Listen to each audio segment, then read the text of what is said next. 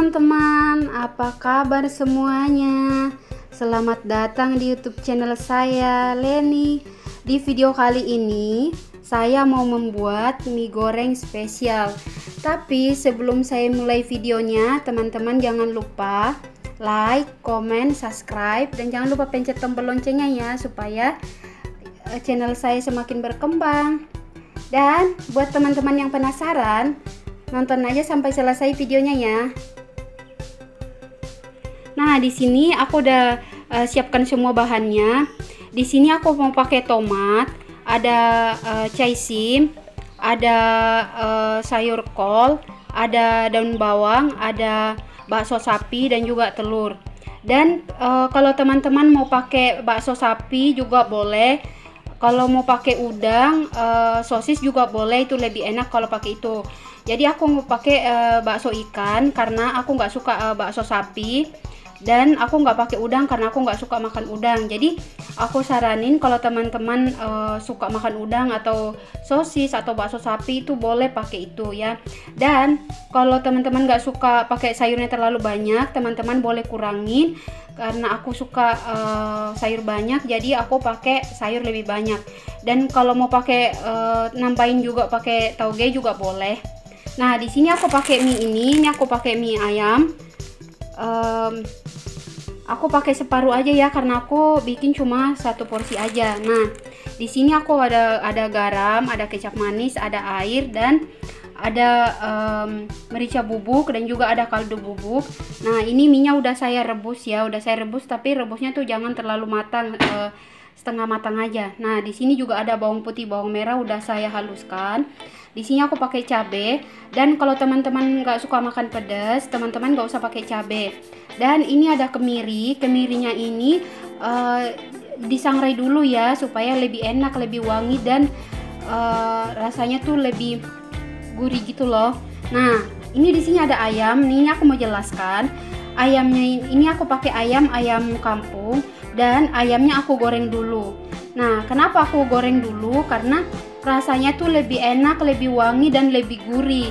Aku udah pernah coba uh, masak mie goreng. Aku pakai ayamnya tuh ayam mentah, baru aku tumis sama langsung sama bumbunya dan itu kurang enak. Dan akan lebih enak lagi kalau ayamnya itu diungkap dulu lalu digoreng setengah matang dan disuir-suir baru kita pakai ma uh, masak mie goreng itu uh, rasanya lebih enak banget dan bedanya tuh jauh banget. Nah, buat teman-teman yang penasaran, teman-teman boleh coba dan uh, teman-teman komen rasanya tuh seperti apa dan bedanya seperti apa. Oke, sekarang langsung saja kita mulai masak ya. Nah, bumbunya uh, ini bawang merah, bawang putih, kita tumis saja dulu. Kita tumis sampai layu dan sampai harum.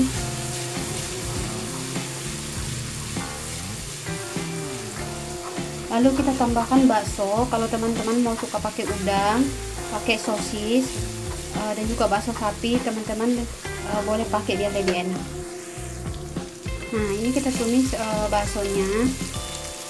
Kalau udah agak matang lalu kita tambahkan cabai tapi kalau teman-teman nggak suka makan pedas ya teman-teman nggak nggak usah pakai cabai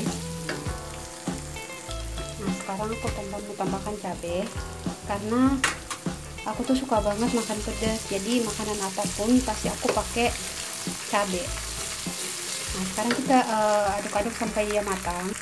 Nah kalau sudah matang kita tambahkan telur. Nah sekarang kita tambahkan aja telurnya. Nah seperti ini. Lalu kita tunggu sampai uh, telurnya agak kering lalu kita tambahkan cari-carinya nah sekarang kita masak dulu uh, telurnya. Kita tunggu dia sampai matang nah kalau sudah seperti ini telurnya udah kayak matang kita tambahkan uh, kemiri kita aduk-aduk lagi. Setelah itu kita tambahkan ayamnya. Ini ayamnya yang sudah saya goreng. Ini rasanya tuh uh, beda banget karena ayamnya tuh udah saya goreng dulu. Ini rasanya lebih enak. Nah kita aduk-aduk aja sampai rata. Kalau udah rata gini kita tambahkan kaldu dan juga merica.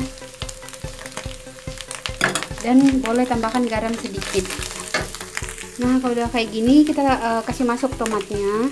Tomatnya kita kasih masuk biar agak matang ya. Nah kita tunggu agak matang. Tomatnya udah uh, agak matang lalu kita kasih masuk sayurnya ya. Ini oh ya teman-teman jangan lupa koreksi rasa ya. Kalau teman-teman uh, suka uh, terlalu asin ya teman-teman kasih garamnya dikit aja. Pokoknya rasanya dikoreksi aja nah sekarang kita tunggu sampai tomatnya agak matang lalu kita kasih masuk sayurnya ya. Nah kalau tomatnya udah agak layu gini kita kasih masuk sayurnya ya.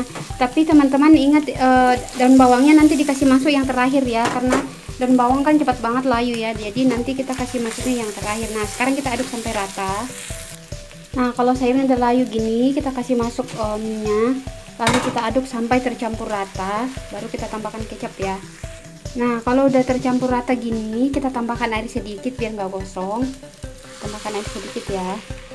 Nah setelah itu kita aduk sampai rata lalu kita tambahkan kecap sesuai selera ya. Kalau suka manis boleh kasih kecap banyak tapi kalau nggak terlalu suka dikit aja. Nah sekarang kita tambahkan kecap. Teman-teman jangan lupa koreksi rasa ya. Kalau kurang pokoknya teman-teman boleh tambahin. Pokoknya jangan lupa koreksi rasa. Nah sekarang kita aduk sampai rata nah jadinya itu seperti ini ini tuh kelihatan enak banget. Nah setelah matang dan rasanya udah pas sekarang kita sajikan. Oh ya terakhir jangan lupa kasih masuk ke daun bawang ya hampir lupa. Nah sekarang kita aduk sampai daun bawangnya layu lalu kita sajikan. Nah ini dia hasilnya no enak kelihatan enak banget kan? Pokoknya ini tuh simple banget dan rasanya tuh enak banget dan buat teman-teman yang penasaran teman-teman boleh coba dijamin uh, ini tuh enak banget oke sampai di sini dulu videonya ya Semoga uh, bermanfaat dan buat teman-teman yang suka, selamat mencoba. Jangan lupa like, comment, subscribe dan sampai jumpa di next video. Bye.